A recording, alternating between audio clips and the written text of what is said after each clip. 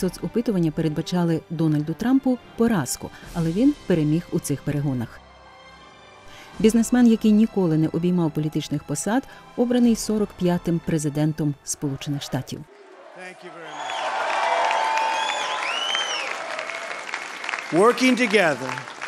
Працюючи разом, ми почнемо виконувати термінове завдання по відбудові нашої країни і відновлення американської мрії.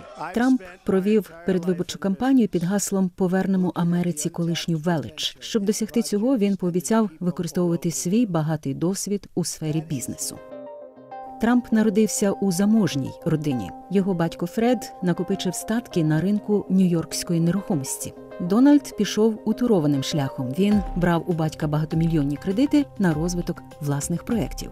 Зараз, за словами Трампа, його бізнес-імперія коштує мільярди доларів. Одним із перших гучних проєктів стало будівництво хмарочоса Трамп Тауер на Мангеттені. Незабаром Трамп почав будувати розкішні готелі, казино і навіть майданчики для гольфу. У книгах Мистецтво виживання і мистецтво повернення він сформулював своє ділове кредо. Перший крок до успіху ставити перед собою великі завдання. Я писав цю книгу як підручник з бізнесу, але в ній є багато про мене як людину, про відносини. Книга про бізнес вчить досягати успіху, долати труднощі. Мені здається, саме це цікавить людей. Ви і самі це бачите, дивлячись на те, що відбувається.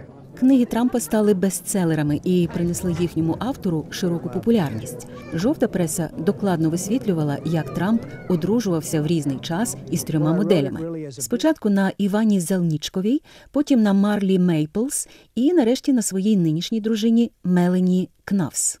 На весіллях Трампа були присутні багато голівудських знаменитостей.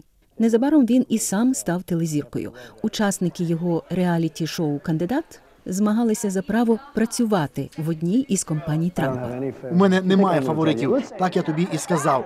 Ось розумний вже знайшовся. А я теж розумний. Ніфіга собі питання. Однак не все, чого торкалася рука Трампа, перетворювалося на золото. Три його казино в Атлантик Сіті оголосили про банкрутство на початку 90-х. У наступні 10 років збанкрутували ще три компанії, але кожного разу йому вдавалося підвестись на ноги. У 2015 році Трамп оголошує про свої президентські амбіції і відразу ж потрапляє в центр уваги. Він пропонує радикальне вирішення проблеми нелегальної імміграції з Мексики. Я побудую величезну стіну. Я краще від всіх на світі будую стіни. Повірте мені, це буде недорого. І у нас буде величезна стіна уздовж південного кордону. Причому заплатить за неї Мексика. Запам'ятайте мої слова. Mark my words. Риторика Трампа під час виборчої кампанії викликає бурхливі протести. Він говорить про мексиканських гвалтівників і наркоторговців, обіцяє депортувати незареєстрованих іммігрантів і заборонити їм в'їзд до країни. Крім того, Трамп пропонує заборонити в'їзд до США мусульманам в рамках боротьби з тероризмом. Пізніше йому довелося відмовитися від цієї ідеї. Однак найбільший скандал попереду.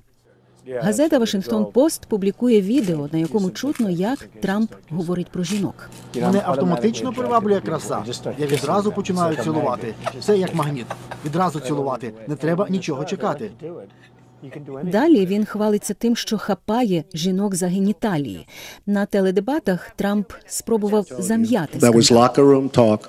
Це була розмова в роздягальні. Я нею не пишаюся. Однак кілька днів по тому відразу кілька жінок заявляють, що Трамп без дозволу цілував їх або доторкався до них. He put me in an embrace, in an embrace. Він обхопив мене руками. Я намагалася його відштовхнути. Трамп повністю відкинув усі звинувачення і пообіцяв подати до суду після виборів. Під час кампанії його різко критикували за відмову оприлюднювати податкові декларації. Кандидати в президенти традиційно роблять це з 80-х років ХХ століття. В опонентів викликали подив зовнішньополітичні уподобання Трампа, зокрема його висловлювання про Володимира Путіна. Трамп допускав можливість військового альянсу з Росією у боротьбі із бойовиками угруповання Ісламська держава. Я не знайомий із. Путіним. Він по-доброму про мене відгукується, і буде добре, якщо ми порозуміємося. Якщо Сполучені Штати та Росія порозуміються і будуть разом воювати з ісламістами, це добре.